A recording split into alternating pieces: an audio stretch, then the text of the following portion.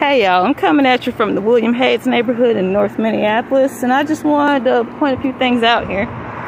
So I am in North Minneapolis where the public transportation gets more scarce, and apparently I've been walking for a while. Oh, I'm sorry, the Willard Homewood, and apparently they call the cops over here, which is fucking useless. They have the audacity to have the um, cop, the crime watch sign on their neighborhood watch sign. If there's anything that says predominantly white neighborhood more than that, I don't know what that would look like because that is a very white ass thing to do.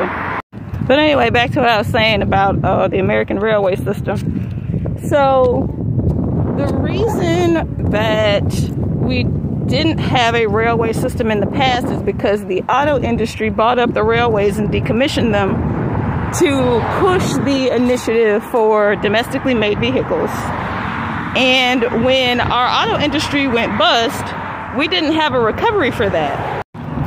Modern day speaking, we don't have a railway system, in my observed opinion, because of the enforced class and race divide. Because out here in North Minneapolis, as I said, predominantly white neighborhoods heading this way, plenty of people have cars.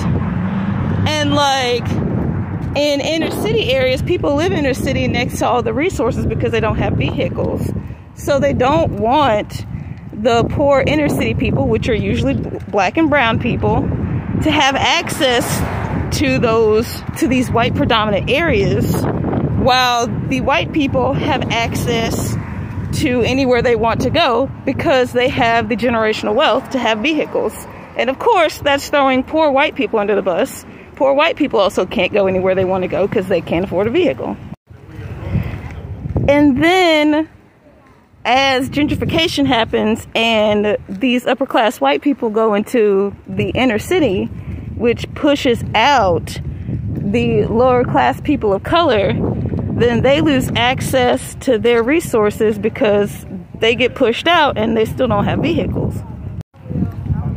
It's about this continuous unspoken enforcement, or in some places it is spoken, enforcement of keeping classes divided because, as I also said, poor white people also get pushed out.